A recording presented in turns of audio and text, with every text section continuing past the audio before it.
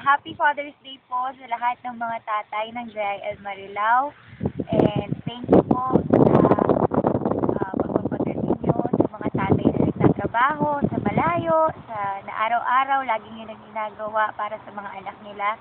Ah, happy Father's Day po sa inyo. At sa mga tatay naman na nag-aalaga sa kanilang mga anak, thank you po sa pag-aalaga ninyo at pagmamahal. And gusto ko din po i-take yung opportunity na to na mag ah, batiin ng tatay ko, Daddy, Happy Father's Day po. At sa mga tatay ko po sa church, kay Pastor Sunny, kay Tatay Bonnie, sa mga tatay po sa church na nakasama ko, kay Kuya Mapen, kay ah, Kuya Jimmy, tatay-tatay, sa mga kay KB, si Kuya James.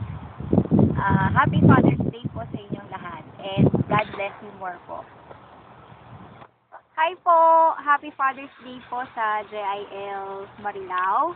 Simula po kay Pastor Sunny and kay Brother Bonnie. Um, sa lahat po ng mga tatay, salamat po sa suporta, pagmamahal at pag-aalaga po sa mga anak.